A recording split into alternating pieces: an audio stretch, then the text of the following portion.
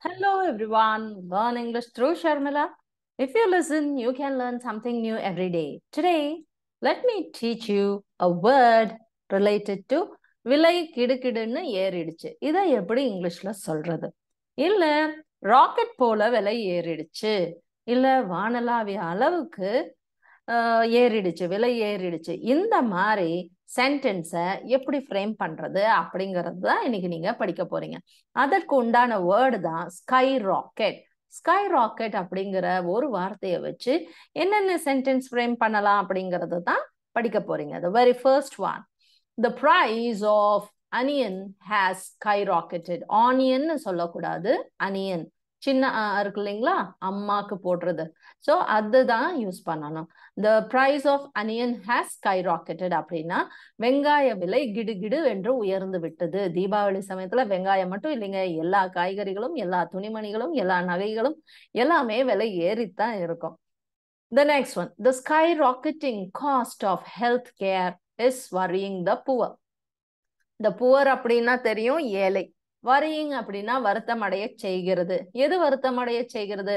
Cost of health care அதாவது சுகாதார பராமரிப்பு செலவு. ஸோ அது எப்படி இருக்கு? ஸ்கை ராக்கெட்டிங் கிடுகிடு என ஏறிய சுகாதார பராமரிப்புக்கான செலவு ஏழைகளை வருத்தமடைய செய்கிறது அப்படிங்கிறது தான் இதனுடைய meaning the next one sales have sky rocketed விற்பனை கிடுகிடு என உயர்ந்துள்ளது. மடமட வேணா ஏறிடுச்சு அப்படின்னு சொல்றாங்க.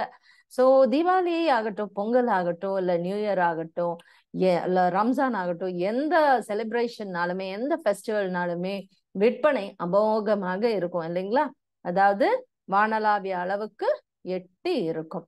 The next one the sale of sweets has sky rocketed அப்படின்னா இனிப்புகளின் விற்பனை கிடுகிடு வேண உயர்ந்து விட்டது. அதாவது மடமடன்னு மேலே ஏறிடுச்சு. நிறைய அதாவது ஜாஸ்தி ஆயிடுச்சு அப்படின்னு அர்த்தம். The next one his popularity sky rocketed after his latest movie அதாவது ஹிஸ் பாப்புலாரிட்டி அப்படின்னா அவருடைய புகழ். வானளாவிய அளவுக்கு எட்டி விட்டது எட்டியுள்ளது எப்போ?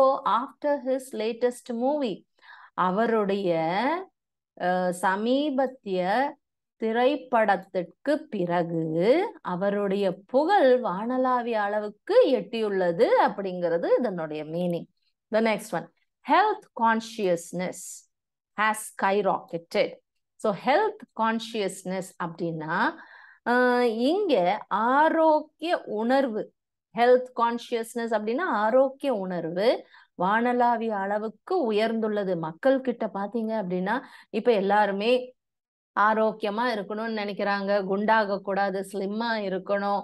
இல்ல நிறைய வருஷங்கள் ஹெல்த்தியா இருக்கணும் ஆரோக்கியமாக இருக்கணும் அப்படிங்கிற எண்ணம் மேலோங்கி தானே இருக்கு உயர்ந்து தானே இருக்கு. அதற்கான மீனிங் தான் இது. அதாவது health consciousness has sky rocketed அதாவது ஹெல்த் அப்படின்னா ஆரோக்கிய உணர்வு வானலாவிய அளவுக்கு உயர்ந்துள்ளது அப்படிங்கிறது. The next one wages of construction workers have skyrocketed. Wages அப்படின்னா கூலி இல்ல ஊதியம்.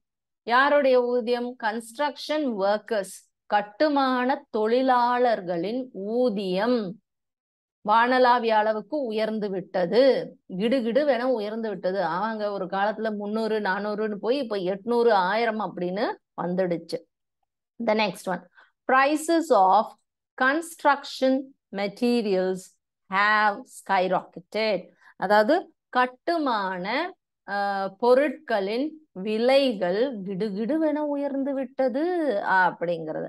அடுத்து housing prices have skyrocketed in recent months.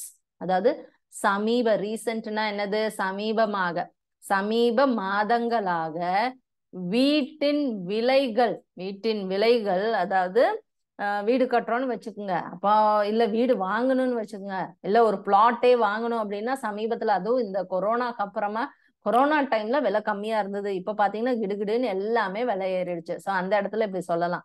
Housing prices have skyrocketed in recent months அப்படின்னா சமீப மாதங்களாக வீட்டின் விலைகள் கிடுகிடுவென உயர்ந்து விட்டது அப்படிங்கிறது Make use of all these words and sentences in your routine life and become fluent. Thank you. Thanks for listening to me patiently. Please do like, share, and subscribe. Bye bye.